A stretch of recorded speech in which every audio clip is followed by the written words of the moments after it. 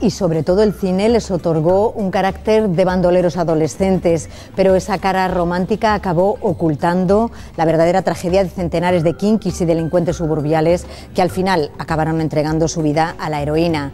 Esta es la cara B de la transición política y la literatura les debía una novela. Ahora ya la tienen. En las leyes de la frontera, Javier Cercas regresa al verano de 1978 para contarnos las luces y las sombras de esos perros callejeros que solo podían vivir deprisa, deprisa. Ya lo ven, nací aquí a este otro lado de la sociedad. ¿Qué pueden hacerlo? ¿Meterme en un reformatorio? Gran parte de unos chavales que en aquel momento fueron mitificados, fueron vistos como héroes, idealizados,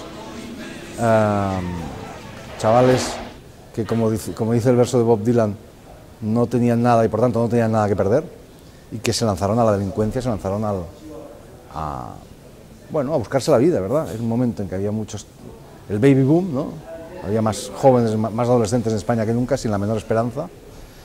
Y esos chavales fueron verdaderos perdedores, pero perdedores en el sentido literal de la palabra, porque la inmensa mayoría de ellos murieron muy pronto y de mala manera. ¿Sabes? Los kinkis para mí no eran más que un avatar, una variante de un mito universal, que es el delincuente, del, mito del, forajido, del, fuera de la ley, del, bandolero, del bandido adolescente. Son, son, una variante simplemente de ese mito que ha cautivado la imaginación de, en fin, en todas partes.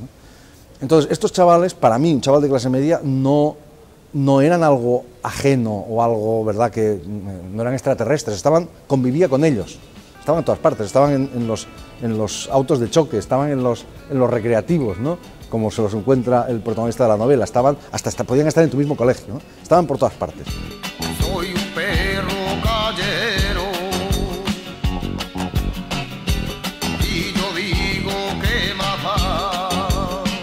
Hay una visión idílica de la, las épocas de la transición. Eh, desde el punto de vista político yo creo que hay una visión simplista, que es peor, incluso. Es decir, o muy mala o muy buena, ¿verdad? O éramos todos, como tú dices, guapos y altos y ricos, o, aquello fue un chanchullo espantoso realizado entre tres tíos para engañar, y esto no es una democracia de verdad, ¿sabes? Esa visión negra de la transición que también es falsa. Eh, ahora, desde el punto de vista, digamos, social, de lo que era este país en aquel momento, ninguna visión puede ser lo suficientemente negra, porque este era un país de catástrofe, un país mm, desastroso, socialmente desastroso, económicamente pésimo. Entonces, ¿para qué? Para darnos cuenta de que realmente en estos 30 años, por muchas dificultades que pasemos ahora y por muchos eh, defectos que tenga esta democracia, que los tiene y a patadas, pues han sido, han sido muy buenos, esa es la verdad. Lo más asombroso de todo es cómo los medios de comunicación llegaron a idealizarlos, ¿verdad? Presentándolos casi como Robin, bueno, y si quitemos el casi, como auténticos Robin Hoods. Por supuesto que no eran Robin Hoods, es decir, estos chavales eran chavales desesperados, que se agarraron ahí porque no tenían otro sitio donde agarrarse. Pero si encima los idealizabas y los convertías en protagonistas de sus propias películas, insisto, el grado de idealización fue extraordinario. Toda una subcultura se genera en torno a esta gente. Películas, que ellos mismos protagonizaban y que eran en los que eran presentados como eso, como héroes románticos, eso, reportajes de, radio, de, perdón, de, de, periódicos, de revistas, eh, libros, canciones, etcétera, etcétera, etcétera. Todo, insisto, una subcultura se genera en torno a estos chicos que los convierte en mitos. Vamos, Meca, dale caña, deprisa, deprisa. La novela del siglo XX ha en gran parte proscribió la épica. ¿Qué ocurre en el Ulises? No ocurre prácticamente nada. ¿no? Un día, la vida de un hombre anodino en una ciudad anodina. ¿Qué ocurre en, la, en Busca del Tiempo Perdido? Nada. ¿no? Marcel se hace escritor, ese es el argumento de Busca del Tiempo Perdido. Proscribió la épica en gran medida. Y Borges decía una cosa muy interesante. Eh, la, épica, quien preservó la épica del siglo XX fue Hollywood, fue el western. Así que como mis libros ah, intentan de algún modo, o por lo menos los últimos libros que he escrito, desde Soldados de Salamina, sin que yo lo pretendiera mucho, pero así es, recuperar la épica, ah, me gusta pensar en ellos, como decía, como, como si fueran westerns. Una de las cosas que más llama la atención es cómo estos chavales fueron eso, convertidos en mitos y adquirieron un protagonismo extraordinario y luego desaparecieron para siempre. Nunca más se volvió a saber, nunca más hubo una película sobre ellos, nunca más hubo un libro sobre ellos, nunca más nada, de nada, de nada, ni siquiera figuran los libros de historia en una nota a pie de página y significaban algo.